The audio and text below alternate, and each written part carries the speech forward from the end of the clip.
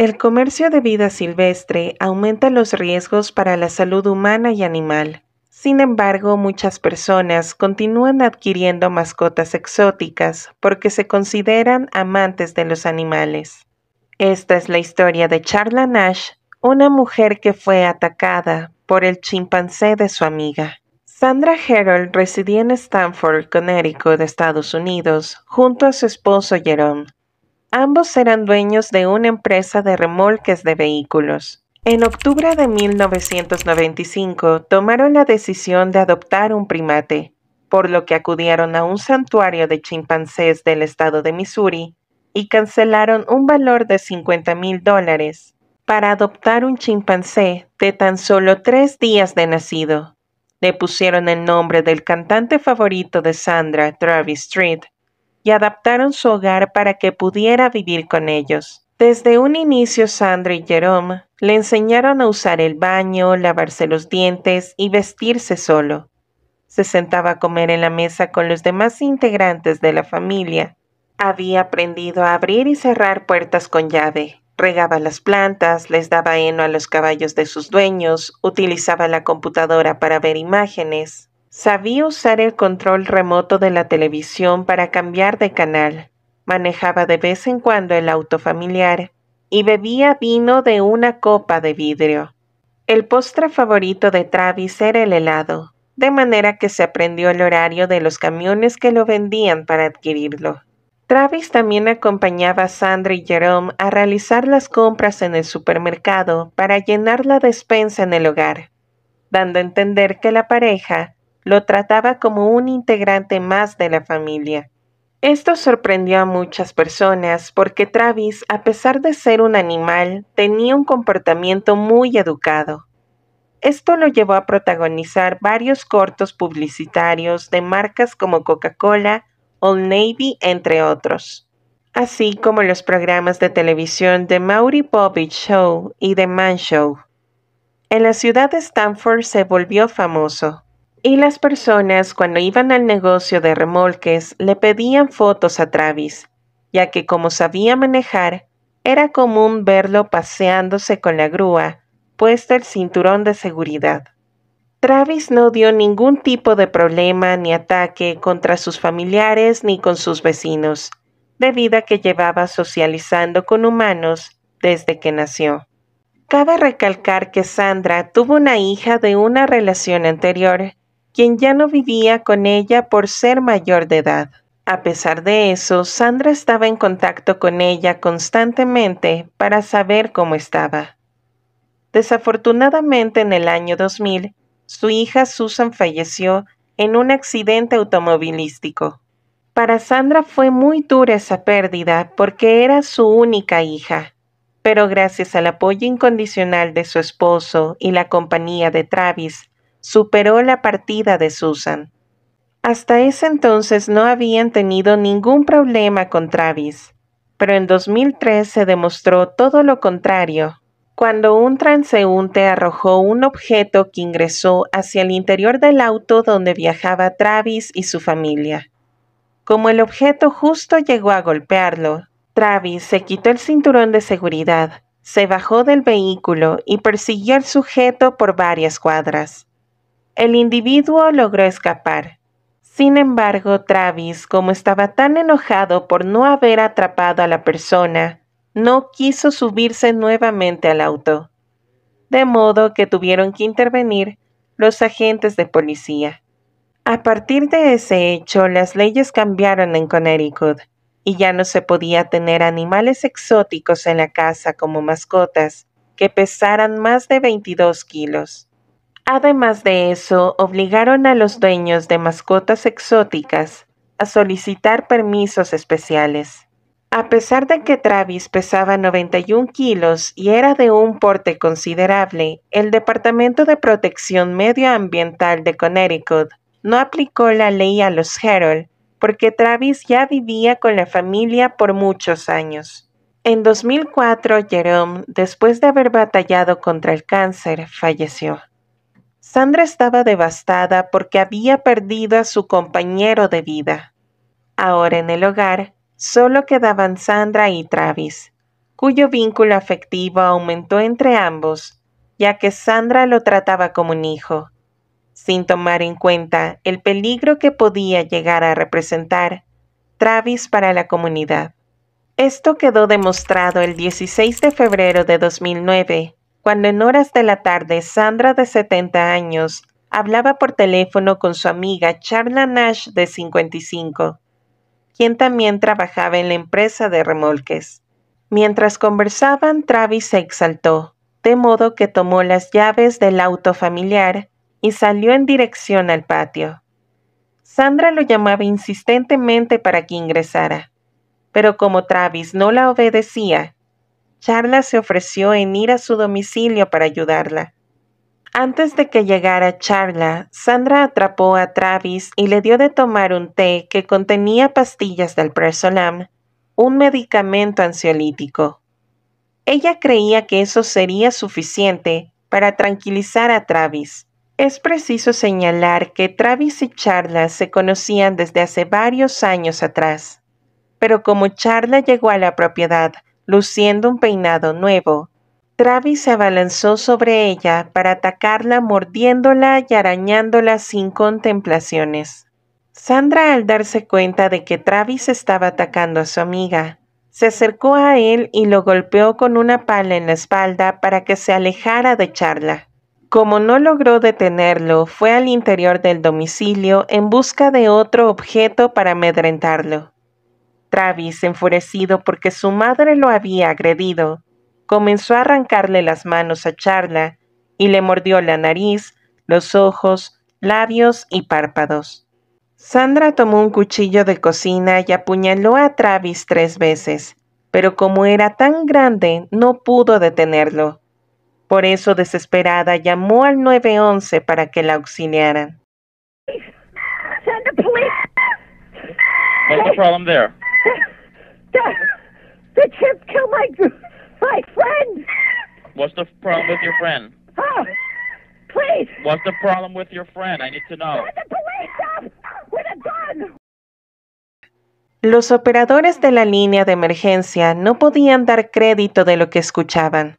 No obstante, notificaron a la policía para que acudieran al domicilio a verificar que todo estuviera en orden. El ataque duró 12 minutos hasta que un oficial llegó a la propiedad. Travis se dirigió al auto, intentó abrir una puerta y rompió un retrovisor. De ahí fue en dirección a la puerta del conductor y la abrió para atacar al oficial Frank Schiafari. Pero él sacó su arma y le disparó en cuatro oportunidades que produjeron su muerte. Tras el ataque, Charla, quien quedó totalmente desfigurada y al borde de la muerte, fue trasladada al hospital más cercano. Allí fue sometida a una intervención quirúrgica que duró más de siete horas. Desafortunadamente perdió sus manos, nariz, labios y parte de la estructura ósea. Además sufrió un trauma cerebral y perdió la vista. Por esto fue considerada como candidata para una cirugía experimental de trasplante de rostro y manos. Una donante anónima proporcionó la cara, manos y otros tejidos que hicieron posible la cirugía. El trasplante de manos se mostró un éxito inicialmente, pero tras surgir complicaciones por una neumonía que podía desencadenar una infección, tuvo que ser sometida a una nueva cirugía para que las extremidades fueran retiradas.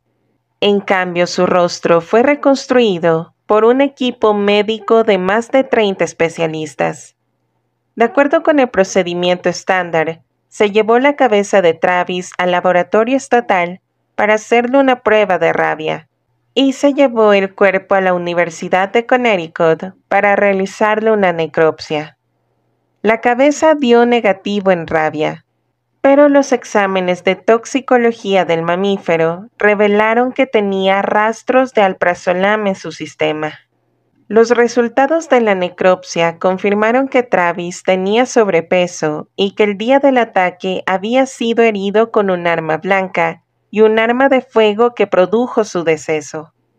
Los especialistas no pudieron determinar si el medicamento administrado había desencadenado algún efecto secundario en Travis, debido a que puede provocar desinhibición, desorientación y rara vez reacciones paradójicas de alucinación, ira y agresividad.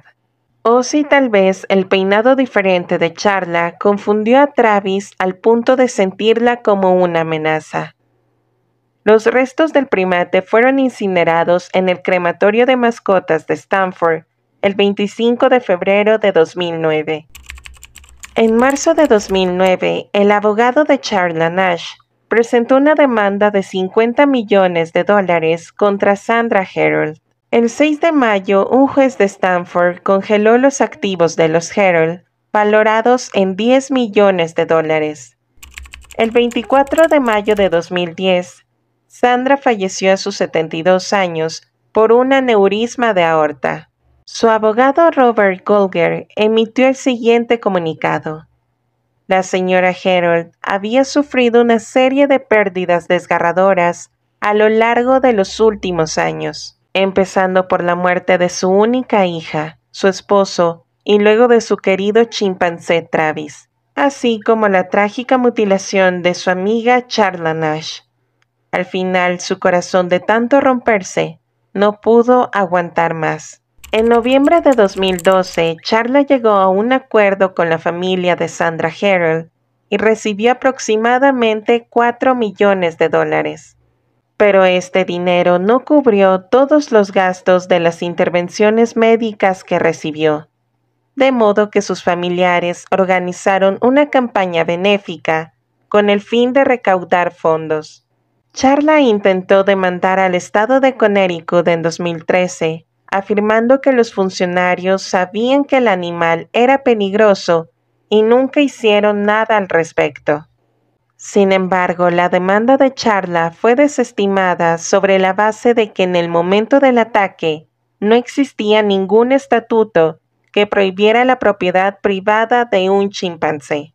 En julio de 2013, los abogados de Charla iniciaron las gestiones para apelar la decisión del tribunal, señalando que un defecto en la ley vigente de Connecticut de 2004, que prohibía los chimpancés del tamaño de Travis, permitió que se produjera el ataque.